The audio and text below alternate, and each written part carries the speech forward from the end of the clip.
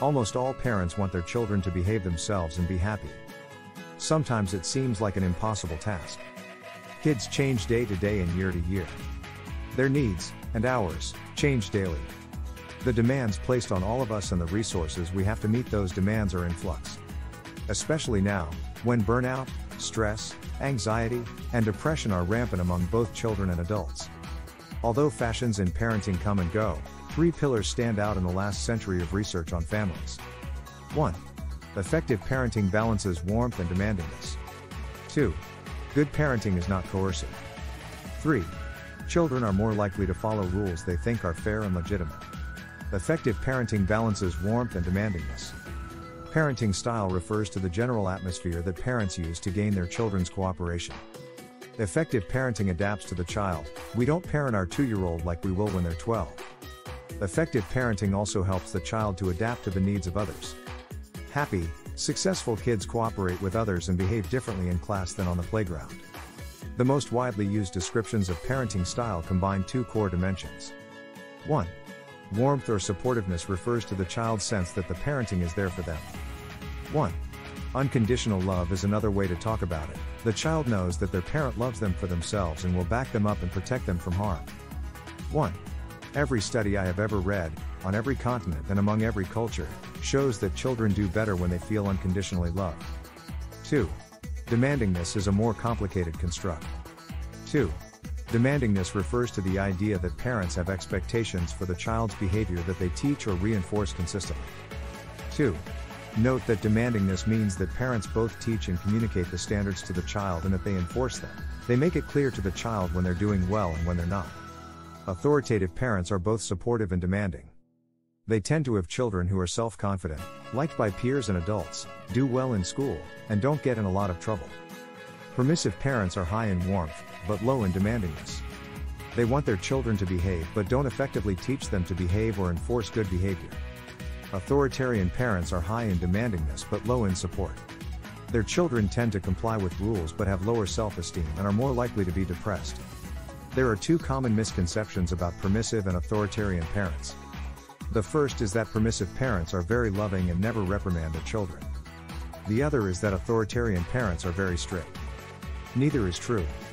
Interestingly, children describe their authoritative parents as the most supportive.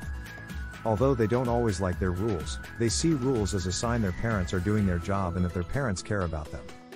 Authoritative parents are more supportive than permissive ones. It is not unusual for permissive parents to be somewhat disengaged.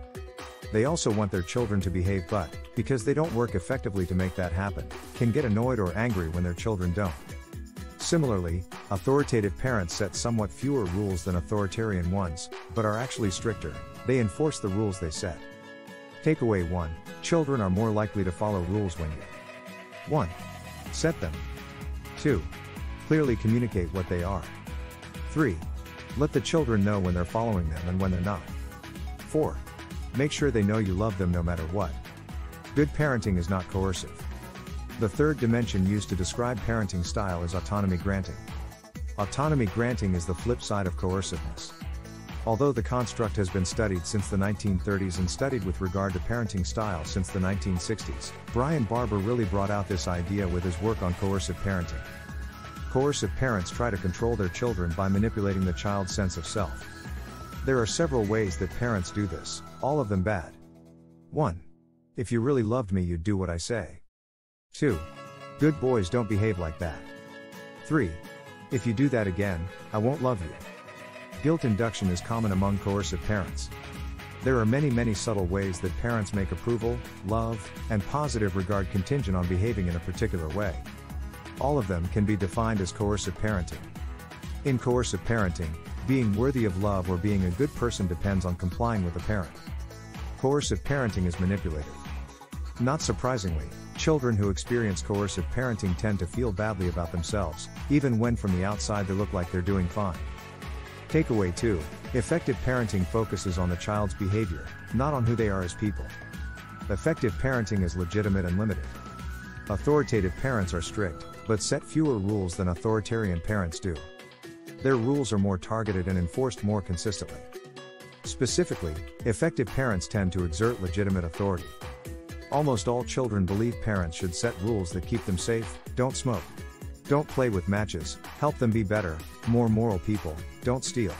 Don't hit your sister, and help them learn to fit in with the large culture, dress appropriately. Don't swear in school. Children see setting rules in these areas, prudential, moral, and conventional, as part of their parents' job. These domains are called areas of legitimate authority. Children, and their parents, often don't think parents have the right to control purely personal areas of children's lives, their favorite color, who their friends are, or what they do for fun. Obviously, there is a lot of overlap in domains. Is playing with a troublemaking friend a prudential issue or a personal one?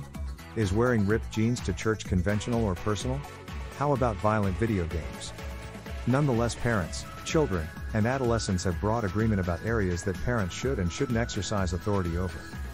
When they believe their parents' rules are legitimate, children are more likely to believe they should obey rules they don't like and more likely to talk to their parents about those rules, giving their parents the chance to explain. Children are also less likely to lie about disobedience or disagreement in those areas, and more likely to follow rules.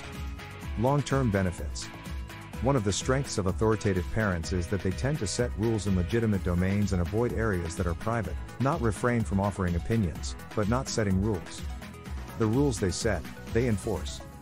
Authoritarian parents set more personal rules, but don't enforce them.